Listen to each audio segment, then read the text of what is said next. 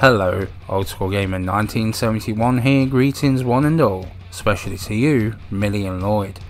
Today my third hour thoughts is on Inside. Been playing this game for around 3 hours and this is what I think.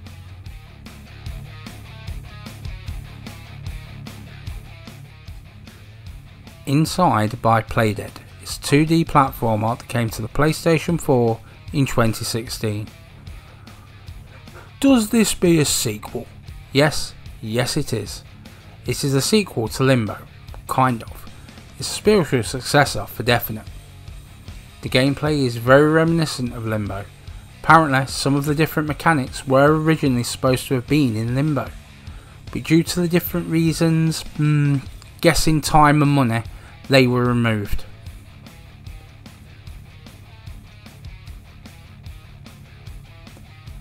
So let's have a look at the developer's rap sheet.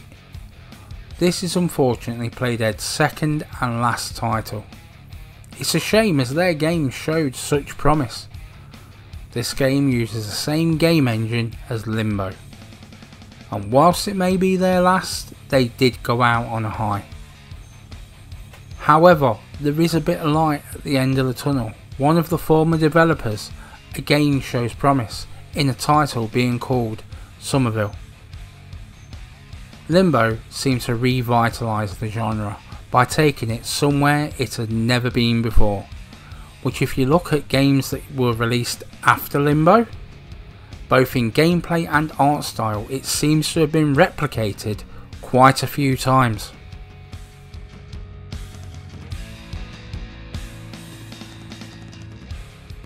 I'm going to tell you a story. This is pretty much up to your interpretation from the beginning standpoint. You are being chased by dark dressed persons and guard dogs with terminal fervour. You have no voiceover nor written words, not even facial expressions. I have to say I was surprised by how well it all works and it does leave you wanting to know what the hell is going on. Having played Limbo, I hope it follows suit. Does lightning strike twice for Playdead? So is the game a inside game or is it a backside game?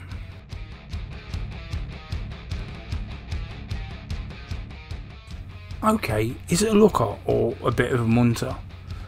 This is a very different style to Limbo, but it's still damn good. The original was monotone, and this might have colour, but it's just a different kind of dark and then we get to the underwater bit in the submarine. It looks so damn good. It's responsive in movement and certainly a welcome addition to solid gameplay. No, it's not a AAA, but it is a good indie title, and if you're a fan of Metroidvania, then this is a really good game, mainly because it doesn't look like anything else out there. The shadows and lighting are spot on and set the mood. This is a big thing towards the atmosphere some of the imagery reminds me of old sci-fi dystopian future, you know, 1984-esque.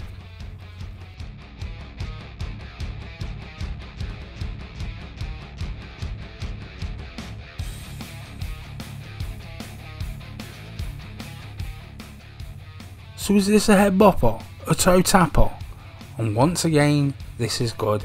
The sound keeps pace with the game. This helps with the atmosphere no end the music, ambient sound, even the dog barking helped so much. I've played this a little before, so I knew what to expect. I like how the sound sometimes goes minimal. It emphasises a singular sound, engines, dogs, etc. This game is a more advanced version of Limbo. It is obvious that they learned from the first game, what worked and what didn't.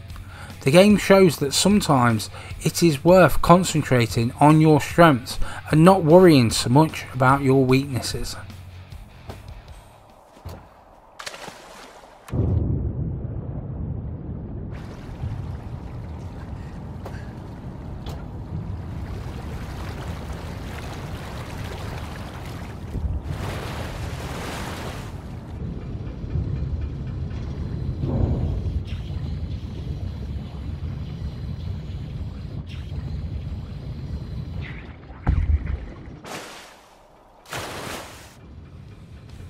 How does this bad boy play? So within a game seemingly without a plot, the gameplay's importance is amplified. It has to be good. Fortunately this is really good here. There has been many advancements to the game engine. Like the Limbo game, you will die often. However, I do find that the gameplay is a lot more forgiving. This is good as sometimes Limbo could become quite infuriating. That is not to say that inside is easier, just that it gives you a little more rope to hang yourself with. I like how the mind control puzzles sometimes can be a pain, and did spend a little bit of time on the shockwaves taking me out, but it normally is clever when you do work it out, and sometimes you feel really really dumb for not working it out sooner.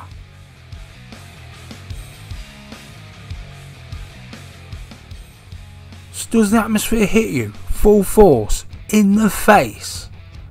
This is really good. It is the just one more go and that I done that kind of atmosphere. As well not knowing the story or why it is happening. To be honest this is the longest that I have played this game for and with what comes later I might like this more than Limbo. When I started I would not have guessed that. This is just a little more than Limbo. It is good to see a game that you don't want to put down, a game that has puzzles, that has you use your brain to work it out. A couple of times I've groaned and rolled my eyes into my head when I worked it out. I like this as it does feel really really rewarding.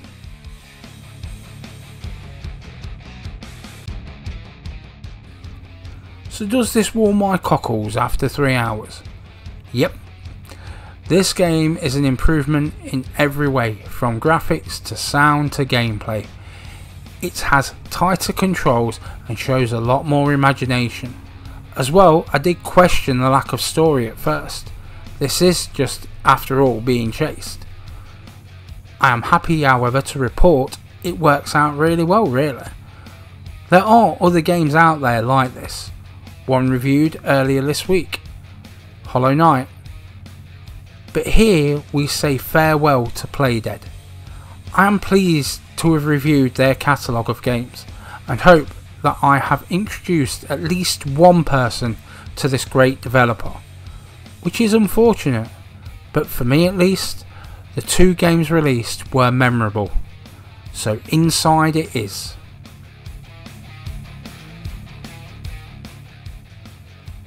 So that about wraps it up. Hope you all have a really good day.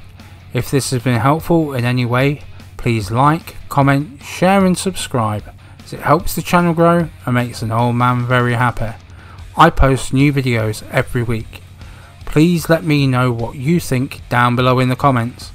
Old Skool Gamer 1971 signing off.